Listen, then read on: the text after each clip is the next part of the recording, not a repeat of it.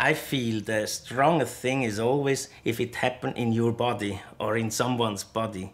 That's enormous. A, a worm, a worm in some, yeah, a worm in, in a in a living body. Oh. yeah, that's just under the skin and you see how it moves. Ooh, oh, oh. Yeah, I, I hate worms and snakes and things like that. I, it's awful. Ooh. ah.